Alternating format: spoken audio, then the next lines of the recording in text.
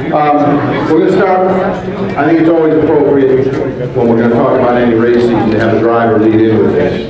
Because they're the ones that were behind the wheel, they're the ones that really suffered the pain and the agony. But uh, all in all, I think uh, we had by any measure a great season when you could, up against the competition that we faced to bring home our manufacturer's championship, the driver's championship, and the team championship. Um, that, that sets the bar pretty high for the other teams. So Tommy, why don't you start us out, maybe give us a little recap of Daytona and Sebring, and then we'll hit the high points for the rest of the year, and we'll get to our autograph section. Yeah, so um, we touched on it a bit last night. Um, Obviously, this year, and Doug said it again, great year for the team, um, winning all the championships that there were to offer, the ones that matter the most, the team, drivers, and manufacturers, of course. Uh, So great year for the team. Um, Most of that was a free car. The three car, that those guys have done this year a fantastic job. And they were laughing a little bit because it- they, it was basically either they won or, or they finished fourth. Um, and those races that they won or they finished fourth, um, I don't think we had the fastest car in any single race. I think I think we had the fastest car at Lime Rock, but that was only because Sorry. Um, this year uh, the IMSA changed the rules a little bit and then gave the fastest car in the race um, one point for both drivers. Um, so that became, as we were going through the season, you could tell that that was going to matter towards the end of the year, or so we thought. Um, so they changed strategy at some point when we knew at that point the three car couldn't, couldn't win the race. Um, just on pace and, and looking at everything, how it was going, it's looking very unlikely that we would, it's hard to pass at Lime Rock in any case. So three car had fastest race lap for that one, but everywhere else we were, you know, fourth quickest, fifth quickest, something like that.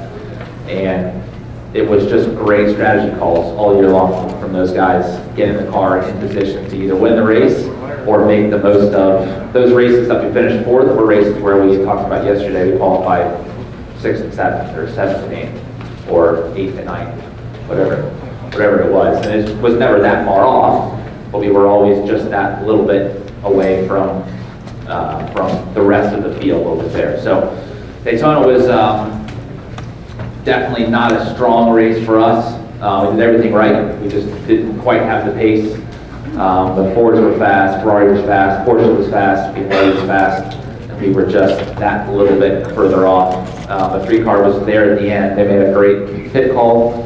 Um, I think Antonio was leading with about two hours to go in the race, which was the first time I think we, that we led the race all um, all day, and just one by one, each car just started just kind of just started to, to pick them off. So I think fourth at, at Daytona there, which was really the best that we could have could have asked for there based on how, how our pace was for the race.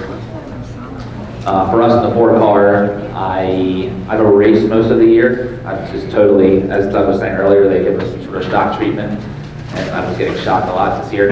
Uh, so I think Marcel got hit at some point in the night. Um, we had some damage to the car. Uh, Marcel was still super quick, and then come to find out when we came in for a pit stop, when the car went up on the air jacks and dropped back down, and the um, I think the lower control arm in the right rear had had broke basically, and that shock of bringing the car up and dropping it down broke in the end. Um, so Ollie went out and said the car was completely undrivable. And so the first question that Chuck, our engineer, asked was, "Hey Marcel, is the car okay?" I said, "Yeah, it's fine." He was still going doing quick, quick lap times. And he's like, "Huh, that's funny. Ollie can't drive it right now." He said, "No, it's fine." Because the wheel was off a little bit, and it was a little bit kind of squirrely into the brake zone. It was fine. And Ollie is screaming on the radio, I can't drive it, I can't drive it, this is, this is terrible. And so, again, come to find out, they brought the car in, and so we think that jacking the car up and dropping it down hard, and that caused something else to break, basically. So that put us quite a few laps back.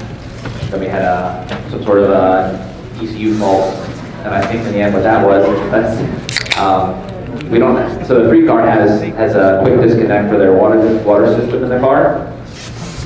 Uh, I don't drink in the car hardly ever. Um, Ollie drinks quite a bit, but it's, so it's not, it didn't make sense for us to have the whole system of plugging the helmets and all of everything that goes into that. So we just had our drinks tube just sort of dangling in the car. Well, I think what was happening was the water was dripping out of the drinks tube onto the ECU and getting that ECU wet and burned the, burned the ECU out. So, um, I mean, well, thankfully it didn't happen when we were leading the race with 30 minutes to go and something happened. We were already lapsed out at that point, but that was a good lesson learned there. So we changed changed our procedure there for the rest of the year with, with the drink system to prevent that. Um, so moving on to Daytona, went to Sebring. Uh, Sebring again was not a good race for us. We had um, something with our radiator, I believe, was not working properly. Um, and we, we saw hints of it in practice, but nothing that was alarming. Um, and then after, I think it was three hours or so in the race of that hard, hard running, um, the temperatures were, were going up, pressures were going up, so something's wrong for sure. We tried multiple times to refill it, and nothing, nothing kind of worked for us. We were, took the car out of the race, which is something I don't think I've, unless it was a big accident, I don't think I've ever seen this team just retire the car. They always try to make it work and try to fix it. This was a, a case where we couldn't figure out exactly what it was, so we tried lots of different things, um, but nothing seemed to work, and it, it certainly was going to look, it was looking like if we kept running, we were just going to blow the motor up, so it didn't make sense to just keep running. So we, uh, we stopped running, but um, I went to my hotel room, I was staying at the chateau there, and I got to watch the last four hours of the race. Um, watch Antonio have probably his best race of his career. Um, again, I don't think we had the car, the fastest car there that weekend, but uh, based on sort of what I felt the year before in uh, in 16, once the sun went down for, for me in 16, the car just came alive, and it seemed like it seemed like I had twice as much grip as what everybody else had, and I had that feeling in 16. I, I just got in the car, it was, it was caution, and so just about to go green. And I don't know what it was, but I was weaving around and I thought, you know, I have all of the grip in the world. I mean, I can pass prototype cars with this much grip. It's what it felt like. That's how that's how good the car felt to me. And I just had that. I just had this feeling, just looking at Antonio, this just how he had been driving all weekend. I knew he was going to be fast. And sure enough, once it went green, that guy just drove the race of his life. And I and I I said on Twitter, I was just watching the race and kind of commentating a little bit, and I said, "You're about to watch one of the best drives for Antonio." And sure enough, two hours later, he had passed three or four cars, and cars that he shouldn't have been passing based on the pace of, of our car all weekend long. There's just something about that racetrack with this car, this car, over the years, whether it's C5, C6, C7 now, um, Sebring in the nighttime, at the end of the race, our car comes alive. And it's a, it's a real pleasure at that point to drive the car. It's the fastest the car goes all weekend. Um, I think maybe some of it is we're tired and Sebring's pretty dark and you know, you just sort of, just muscle memory, driving around and you think, oh, I just go a little bit faster here and you can't see as well anymore, so all of a sudden you don't get scared of the fact that you can't see where you're going in turn one. And I mean, I'll tell you what, the, the cars now, over the years, as we've added downforce and the grips improve and the cars get better, turn one at Sebring now is unbelievably fast. It doesn't feel real. For the first time that you drive to that corner there and you get it right, it is the most rewarding thing in the world that, you that I've ever felt. And there's been lots of times driving race cars where you're like, wow, man, that was cool. You know, like the Kink at, at Elkhart Lake is one of those places where you, when you get it right, it feels great. But turn one at Sebring, in the nighttime, in the race, when the car is that good, it's just out of this world. So Antonio had a phenomenal race, won the race, um, and that, you know, I think was similar to what I felt in 16 when we had the race that we had at Daytona that year, and then we had it at Sebring. It just gives you this confidence in the car and the team, and I think he felt kind of the same thing. It just gives him that confidence to just be that much better in the next races um, and just get the most out of the car. So um, Daytona wasn't a great start, but Sebring I think was in many ways sort of a turning point for their season last year. So the drive that, that, that, that he had in that race there at the end was, was something special for sure. Thank you, Bud. You know, you kind of touched on this. This was not four car year by any measure. If it wasn't one thing, it was another. And I get, obviously, I do a lot of interviews, and, you know, it's invariably what the thing leads to, "What- what's wrong with the four? What, what, what, what, what's up with those guys? What are they doing? I said, nothing. I said, you know, it's the same question you asked me four years ago, when you said, what's wrong with the three car? And I think I had the same answer for you. No, those who remember back, we had a year with a three car, couldn't do anything right. They could not get out of their own way. Nobody was doing anything different. Cars weren't prepared any differently. There was no manpower change, no personnel change, same drivers, same deal. You do this long enough, and you're gonna have years that just go that way. That's just how racing works. Uh, take a look, I've done this for a long, long, long time, and I know what that feels like. The team has done it for a long time. There's a value in creating continuity in our program. Because now we have guys that have understood what it's like to be at the top, and we have guys that understand what it feels like to be at the bottom.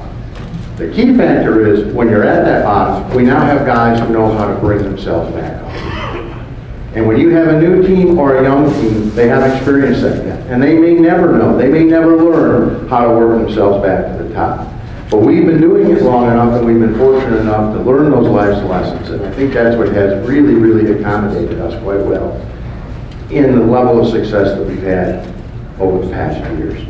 Knowing how to rebound, knowing how to come back from that kind of performance to get you to the top. That's what wins you championships. And this year was just not any great, greater demonstrator of that than what we saw. And by the way, it's not just mechanical performance, it's the attitude and approach of not only the crew guys who are doing the work, busting their ass, and then, you know, their cars crashing, it's how the other drivers react. How did Tommy and how did Oliver support the team when they were having a crummy year? Or they were having a crummy race? You know, they're down there in the pit lane when that checker flag drops and the three car comes across and it wins, and the four car's been knocked out in a wreck. When you look at the faces on the four car mechanics, the three car mechanics, and the four car drivers, and you would have presented that film to someone and say, look at those faces and tell me who won. You can't tell. You can't tell, because internally, yes, are they thinking, geez, I wish it would have been me? But they've done this long enough to know at the end of the day, it's a long term that matters. That manufacturer's championship, team championship, driver championship is what brings it home for everybody. Richard Prince designs our Le Mans poster every year, all right? And I think the last year, our last poster, guys are all, have you seen Le Mans posters? So the one we did where everybody looks, all the personnel are lined up on the Le Mans logo at Le Mans, and it's lined up, in, it was formed as a Jake, with all the team members and the drivers. And our last one was one, which I thought was probably one of the most appropriate that we've ever had. He had the big numeral one outlined with people, and the word team outlined with people. And the cars were strategically positioned in there. One team. That's what we do. We are one team. We have two cars, two sets of drivers, two sets of crew. But at the end of the day, we operate as one team. And you can go throughout that pattern, and I can tell you what, there's nobody, they talk it, they want it, they hope to get it, they don't know how to achieve it, and they don't have it. All right? They are divided, and it shows in their performance. When you can establish yourself as one team moving forward, everybody pulling on the rope in the same directions, great things happen. And uh, I don't think there was any year that was more emblematic of that than our past 2017. We operated as one. They did a great job. Got limited time. I know you guys probably have questions about what went on in 2017. We're here to answer any questions about something that happened in the past, anything that's going on right now, and anything that we might be doing in the future. And as I tell my people at the Corvette Corral, all right, if I don't know an answer, I will make one up so good you won't know the difference. So everybody be happy. Who's got questions? It's Got to be one. Everybody's right now just finished that sandwich, just kind of processing, they're in that little insulin overload mode. Yes, sir. So, 2000 to 2008, taking a look at your overall records, there were a lot of firsts, a lot of first and seconds. That seemed to be the period of time that you guys were knocking out in one-two finishes. Uh, I think of the 106 wins, you've got 56 or 58 are one-two finishes. But it seems to be concentrated in 2002, uh, 2000, 2008. So has, from 2008 to present, has everybody caught up? Uh, Or is it BOP? Uh, Just, what what do you think the right. dynamic is? That's, that's a good question. The question was back in the late 2000s, all right? We not only were winning races, but we were finishing one, two. I think we've now collected, you know, people talk about 106 wins as being an accomplishment. Well, I can tell you, I can tell you, this, I don't, I'm not sure any other team in the history of road racing, same team, same car, same brand, could even remotely approach 106 wins. It just it doesn't exist. It's teams, there's great teams out there like Joest, and, but they've not been same team, same car, same brand. But more astounding to me, and anybody who understands the difficulty and challenges of the sport, is the fact that say we have 62 1-2 finishes. Are you kidding me? That's the number. How the hell do you do that? But, in full disclosure, there was a period of about a year and a half there when we had run everybody out of the GT1 category, and we were racing ourselves. Good point. Yes, and that attributes for a chunk of those one-two finishes. Has the competition gotten stronger? Unquestionably stronger. Has it gotten deeper? Way more brands involved, way more factories. You know, we came close to a one-two this year someplace. I mean, we, we didn't. Could have been VIR. It was VIR. Could have been VIR. Would have been VIR. Should have been VIR. But then again, we won the manufacturing championship, thank you, Burke. Um, so that was, that was, played a, a large role in, in, uh, in how we accomplished all those one-two victories. You know, which reminds me of, of an interesting story, because as we put everybody essentially out of business in GT1, uh, Gary Claudio, who we president, who was our marketing manager, says, well, what are we gonna do now? We got nobody to race. I said, what, how, what oh, use all? I said, well, we're gonna race ourselves. Well, what do you mean? I said, we're gonna go to the racetrack, and we're gonna race ourselves. We'll put the three car against the four car, we'll let those guys duke it out. Well, that's never gonna sell. I said, well, why do you say that? Well, we gotta have a competition. I said, no, you don't. We'll be competition amongst ourselves. So he, heads off, Doug, you can sell that. He wasn't a part of that train, all right? He got right off the station, and said, I'm not going forward. So, the next logical thing would be, my phone rings, and it's our manager. I said, Doug, we need to come and talk to you about this Gordon racing team, this scam you're running here. Um, who you plan on racing next year? I said, we're planning on racing each other. That's just those words. And they looked at me like I had three eyes. What, what do you, what, what do you mean? I said, well, what did I say? We're gonna race each other. We're gonna go to the racetrack, the three cars are gonna race the four car. Do you know how much that costs? I said, yeah, I know exactly how much it costs. I've done all the numbers. Well, explain to, well, I don't, I don't begin to understand what you're thinking. I said, here's the thing. You need to put it in other terms. I want you to look at all the marketing and sales programs you operate.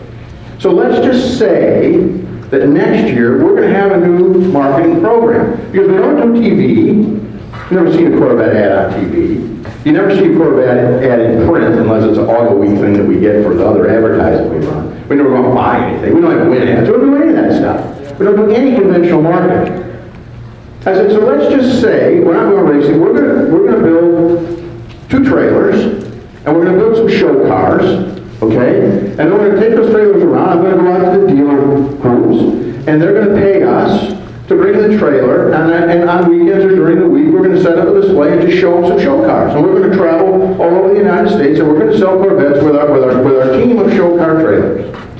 They said, that, that's a pretty good idea. I said, well, we're doing the same thing, except we're doing it in a way more exciting environment.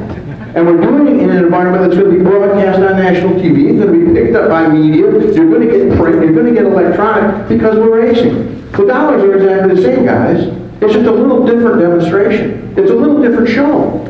And I said, we're going to do it for a year. I said, at the end of the year, if we don't see a rise in Corvette sales, if we don't see a rise in all the stuff we sell out of our catalogs, okay? And if, and if we see a significant drop-off in Corvette Corral attendance, I said, then we can have a conversation about the effectiveness of Corvette racing and how it sells cars. They were kind of taken back by that, but they agreed reluctantly. At the end of that year, of course, we just introduced Jake, all right, which was another, that's a whole other, that's next year's story. Um, uh, our attendance at Corvette Corrals was up by almost 20%, okay? We're up almost 30%. Every number associated that was measurable in the things we were doing racing was up, and we only raced against ourselves. As I said to them, our fans want to come out, they want to see those cars, they want to touch them, they want to hear them, and they want to watch them. And if we can put on a good enough show racing each other, they're going to continue to support us and they're going to continue to buy the product. We raced for almost two years like that. You put on some good shows too. Yes, we did. We put on some hell of a good shows. I got called into the principal's office a couple times. But you loved it, and fans that were never Corvette fans loved it, and became Corvette fans because of it. So it was a very difficult, very challenging time, but I refused to give in, because I knew in my heart that what we were gonna do would work. I just believed it would, and it did, based on your guys' response to what we were doing. It was an amazing time, an amazing challenge, and I think one of the really uh, watershed moments in Corvette racing history. But that is a long-winded Doug Fehan bullshit story on how we got one, two wins and great numbers. Next question. We gotta have one more. We got one? Yes, sir. Um, uh, glad to see Penske get into the prototype class. Did you see any other manufacturers considering uh, LM? Tommy didn't want to make anything up. Still learning. Um, yes, still on the job. Do we see, the question is, do we see any other manufacturers interested in coming to GTLM? The answer to that is, is yes. I don't have anything definitive on it at this point in time. I'm not willing to make an announcement for another manufacturer. But I can tell you is working as hard as they can to bring a program to North America. It happens to be their largest single market. It only makes sense that they would race here. They want to come here, they want to race, they're desperate to do so. I would, if I was a betting guy and I had to, you know, pick a number, that would be the number I would pick, that probably they're coming. Do I think the agents are interested? They are interested. You saw last year Lexus come into GTD. Why they go to GTD? Well, they go to GTD because it's a little bit easier environment than GTLM. As a manufacturer, and I'm going to toot our own horn here, I can tell you this, that in boardrooms, when you make your presentation as another brand, and you're presenting to your board that you want to go racing in the GTLM series, their response is, are you out of your mind? You know who you have to beat? Yes, Corvette, exactly. We are the bar. And they look at what we've done over the past, however many years it's been, 17 years, however many we've been doing this. And they know the kind of commitment and continuity that they have to create and they have to sign up for in order to be competitive. They're not going to sign up and spend two or three years and think they're going to dominate. It's not going to happen. You watch what Ford tried to do. right? And you saw how that ended up, at least this year. Okay, and it'll probably be similar next year. You have to be here long-term to succeed and survive and take down the king, and that's us. And we earned that spot. We work very hard to do that. You ask any team that's out there that races against us, what value is there in racing? When they win a race, it's a value to them, because not that they just win, they beat Corvette.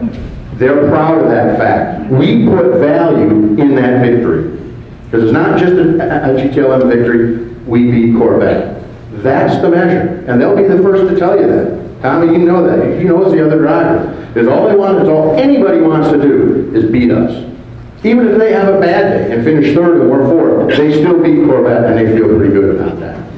So that's not a bad spot to be in. I would suspect that one or more of the Asian brands will eventually come aboard. It won't be next year. As it could. So, you know, I- we're not going to change anything. I, I, I know all the manufacturers very well. I have regular conversations with them. They all know they need to be in our market because it is their number one market for their brands. They have no place to go to get the kind of exposure they're getting here. They model everything they do after what we do, whether it's a Porsche Corral or a Viper Corral or a BMW Corral, or whatever corrals they have where they have 26 cars show up. Um, You know, they want to do, they want to be us. And that's a good place to be in. For us, and it's a good challenge for them. It keeps them engaged. Because we've helped draw fans to the racetrack, which they can then sell to their management to help their programs grow. So they all know it, they all want to be there, it's just hard to get the commitment because they know how steep that hill is. And uh, we're going to tend to make it even steeper as we go forward. Uh, I'd like nothing better than to run this up, it's just, I don't need to do it for a couple more years. Next question, yes, sir? Okay, so if by chance there might be a mid-rear engine Corvette, just saying. With balance of performance, with balance of performance being what it is, and looking at how the other rear mid-engine cars have come to the front and then fall back with the various changes of BOP. If by chance Corvette were to have a front, uh, a uh, front uh, mid-engine car, what would be the advantage for us? No, because you hit right on, and and that's been the bottom line all along. Now, people saying, geez, what are you running next year? Well, we're running the same cars this year. Oh, God, not getting a new car? Oh, Well, good, you go out there, you run five seconds a lap faster than you did last year, well, what, guess what's gonna happen? That's right, you're gonna type over your ass, and you're gonna drag it around all year. All right, so there is no, there, there is no, there is no advantage to doing it. If, there is an advantage, you witness it, it's short term until they get a grip on it, until they balance you, and then they're gonna bring you back to be competitive. I mean, that's just, that's just how it works. So are we at a distinct disadvantage with the product that we're currently running if we have to run it for a few more years? No, not at all. They're gonna give us what we need to be competitive. And, uh, that's what, that's what works. But from a driver's standpoint, is, is the feel of the car, the, the, the turning capability, from a driver's standpoint, is there Uh, hard to say, I haven't driven a mid-engine car before, so I would, I couldn't give you that direct comparison. Uh, Theoretically, it should be better. Uh, Theoretically, it should be, you know, sort of over the long, over a stint, should be a little bit better. There should be small advantages to that setup. Um, Again, I can't speak from, from, uh, from experience, I haven't driven one like that before. Um, but it, but it's one of those things, I mean, in, in every, for every car that I've driven in the past, whether it was a Panoz or a BMW or a Porsche, or whatever it was, those guys, they take whatever car that they're given and whatever, whatever situation that they're given and they make the most of it. And so as drivers, we drive the car and we find places that we think the car can improve and the engineers, that they go back and they try to improve the car. So with whatever the- that we're racing, whether it's, when it, when it when it went from C6 to C7, and as we change, as the rules change a little bit, things change in the car, and all of a sudden now we're, we're better here, but we're there. And so as drivers, we go through the process of figuring out, okay, how do we make this car better? And the engineer's process is how do we accommodate those, those concerns of, of, of the driver? And those guys, engineers are, are finding things that we don't, didn't even know that we needed. Basically, they're like, well, we found an extra 2% of down, front downforce for free. We're like, yeah, perfect, great. So as Doug said, I mean, BOP, the way that it is, they try to make all the cars as close as possible, of course. Um, but there are obviously inherent advantages in certain, in, in certain areas. So right now, we brake pretty well compared to the competition. Um, we'll try to obviously keep that advantage however we can, whether, so I don't know if that's just because the Corvette is a great braking car, it could be. It Could be something that that we're doing with the setup, It could be something with the brake pads that we use. There's lots of ways that you can and it, or, or it could just be our engineers have done a great job with maximizing, you know, that part of the car. So every car is different, obviously, and that's a challenge of the series because you have, you have, you know, it could be that, that a certain team, a different team in our, in our class, let's say if, if all of a sudden the Porsche guys, all those guys started working on the, on the BMW, maybe they can make that car go faster, and maybe vice, vice versa. So it's team and car and driver combination they have to balance as well. And as we learn and as, as they learn, the car's performance changes based on that. Um, there's so many moving parts, it's hard just to say specifically, well, if you have this car, then you will be that much faster. There's it's obviously a lot more that goes into it. Thank you. Yep. Bottom line is, we race to do one thing, that's sell cars. You guys are the customer, you're the end user. So any decisions that are made on what the car is going to look like, how much horsepower it's going to deliver, blah, blah, blah, they're done not necessarily to think it's going to give us an advantage in racing, because it's, at at the end of the day, it's not. But it's going to give you guys something that's more fun to drive, and it's going to be race bred, and you know you have the confidence in that. And that's why it works so well together. Okay? We're not necessarily concerned, we're not, you know, Ford went out and designed a car for the specific goal of winning Le Mans. We have the only American-made car in the series. Just thought I'd point that out. So, as all I'm saying is that was their goal. And they spent, pick a number, one and a half billion dollars, two billion dollars by the time they're done tooling up to do this? And where are they now? We're in the business of selling 40,689 cars a year, all right? We're in the business of being the number one per unit profit maker inside the corporation. And then in turn, you still buy the product. So the idea is to continuously upgrade what we're doing to create new and exciting things for you, the customer, and we'll learn to race with it. That's what we're doing.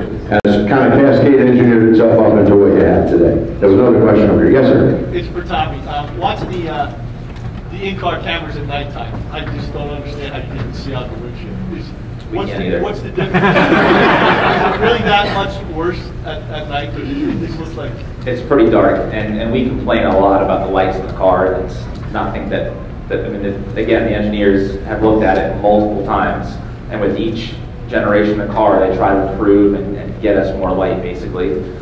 One of the problems is, is we have to run yellow film tint on the, on the lights by the rules to, to separate the prototype cars and GT cars. And that film takes like 10 or 15 percent of, of the light output away, gone straight away. Um, so it's a challenge for sure. And as drivers, um, the more that you do this, the more experience you have, the more that you end up using just muscle memory to go right that you need to go, basically.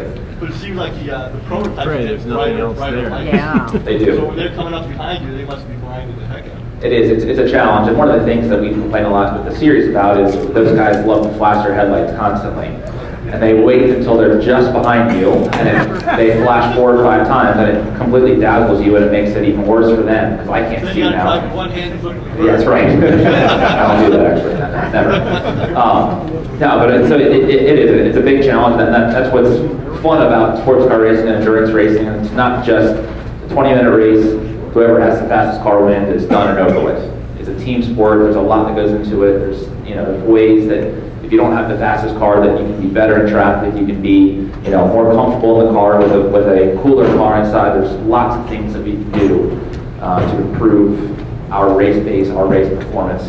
It's not just about who has the fastest lap over, you know, 20 laps, whatever it was. So um, it is, it's a big challenge. Some tracks are easier to see at night than others because there's more light.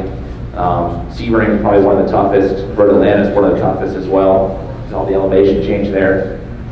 There's just some tracks that are just totally pitch black at night and you can't see anything. And some, Daytona obviously is pretty well lit, so it's, it's nighttime, but it's not really, you can see pretty much everything. Um, the only place it's hard to see is at Daytona is just after the Kink. The Kink of it, in the infield there, the left-hander, it gets pretty dark for that section. So that your, your, your reference point of braking is pretty difficult there, but everywhere else, you can see pretty well. On a follow-up on that, you ran a new camera system that was over. Yeah, you've got eagle, that's for sure. Um, So at T, we had a, a different radar system on the, on the back of the car. It's just version two of what we've been running, basically. Um, So it just trying, trying to improve on what we've had in the past. Um, That radar system, we started using, I think, 2012, maybe, 12 or 13, I think 13. Um, And it was a project with Pratt Miller and Bosch.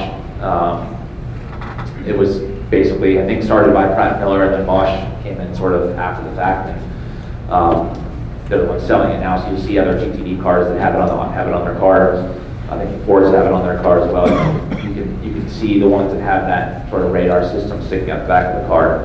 Um, it's helped us immensely over the years with traffic at nighttime, especially at nighttime. The radar system is invaluable because when you have those guys with the bright lights behind you and you can't, all you see is just this white light. There could be two cars, could be three cars, could be four cars. And the radar system is able to pick out, I think with this new system, it can pick out 20 separate cars. You would never see 20 cars in the mirror, um, but it has the potential for that. So you, you know with that system that you're never going to miss a car. Um, and, and again, in the, in the daytime, the, our, our engineers, our, our crew chiefs are spotting for us on TV systems. Um, and they can give us a good idea. You've got two, two prototype cars coming, three cars coming. Um, but at nighttime, the TV doesn't always follow your car, it doesn't always get a good picture of who's behind you. Um, so we have to rely then in that case on, on that radar system. Um, so that's, as you saw, it's just version two. It's a little bit faster, just a little bit sort of um, more consistent. Still, still some, work to do, but essentially function's the same. Nothing, nothing totally different about it, just a little bit refreshed. Do do you have the self-dimming side mirrors like you do on the road cars? No. So the, the question was the self-dimming mirrors on, on the road cars, don't have those. We don't honestly use the side mirrors much, at nighttime especially, because they're such a wide angle lens that it's good for things that you- that are right up on you. Um, Or if not- you're on fire. Or on fire, yeah, exactly. Um, So we use those just almost as just secondary. The, the camera system, the radar system really is what we rely on most. Any more questions? How did you get started in racing? I got started in go-karts. Um, I started when I was pretty old, uh, for most, most kids. Most kids started four, five, six years old in go-karts, and I was, uh, fifteen, the first time I really kind of got into go-kart. Um, I grew up playing sports, played soccer, and baseball, and basketball, lacrosse in high school. That was sort of my passion. Um, I loved cars. I loved my dad a race team for a long time, so I grew up at the racetrack. I've grown up around racing. But I never saw myself as a driver when I was younger um, because my dad never drove a race car in a race in his life. He, his, his story is that he, he drove a race car in practice a couple times and he said he knew he was terrible and he just, just removed himself from that situation completely. So he's always, he's worked with lots of different, different drivers over the years. Bill Scott was one of the guys that sort of kind of brought him along.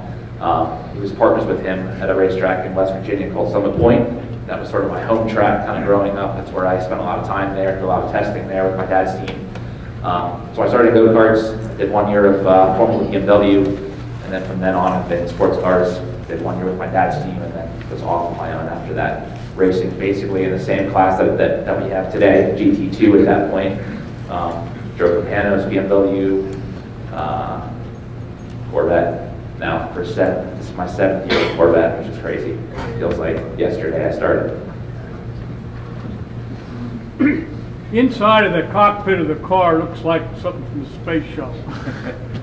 There's buttons and all this. kind- How much do you have control over, or do you have to control as compared to what the engineers are saying, uh, red 10, whatever. Yeah, so we have lots of buttons in the car. Um, we have buttons and switches and knobs to control windshield wipers, traction control, engine mapping, fuel mapping.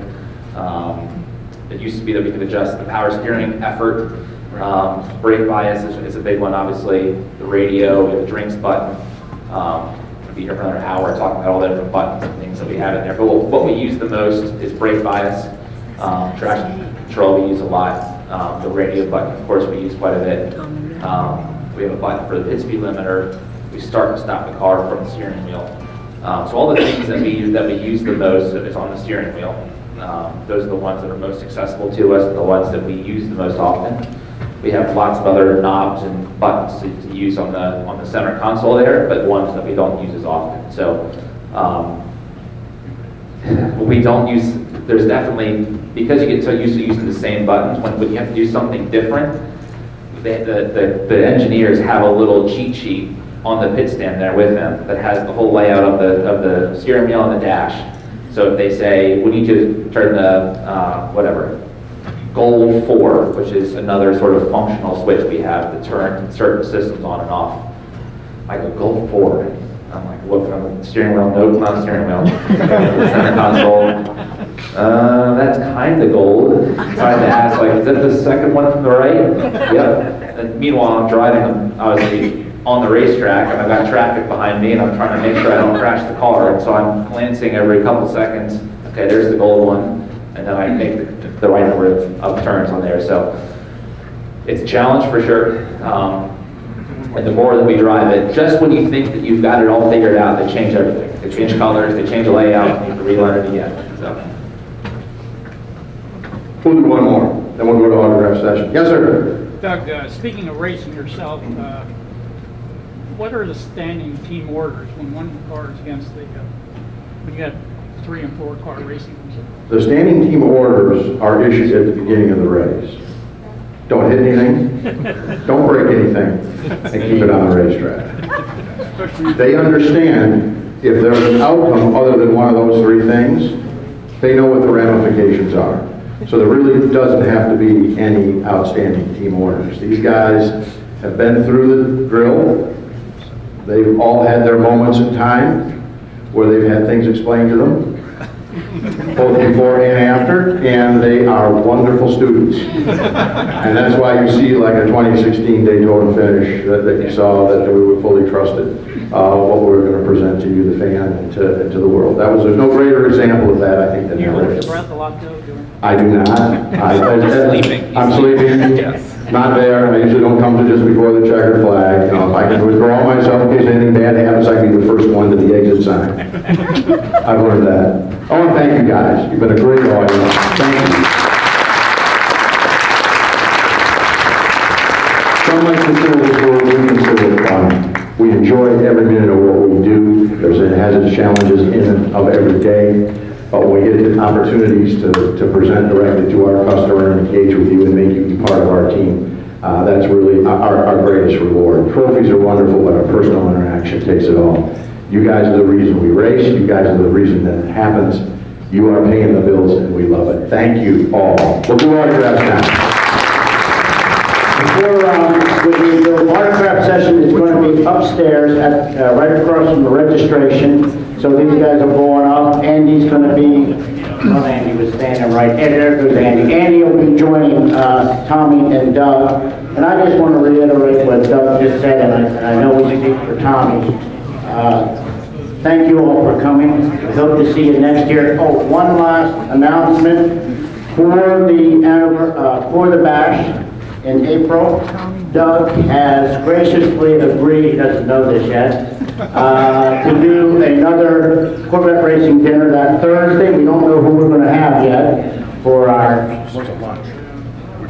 well, the dinner, remember we did the dinner and then the lunch, yeah. We're gonna be doing, for the uh, bash, on Thursday, a Corvette Racing dinner. Um, Doug and I will come up with, uh, hopefully, a couple of good featured guests. And then the the lunch you're talking about, we do at the anniversary. Keep this straight, keep this straight. That's why I got you. So I know that makes Karen happy. At the last, uh, our, our first dinner, we got 390 people or something, great success. So, again, uh, autographs upstairs if you want. We got some more posters if you didn't get one yesterday. Safe trips home. Who, who came from Texas? Is is the Texas people still here? Right here. Thank you very much. Let's give them hand. They're very welcome.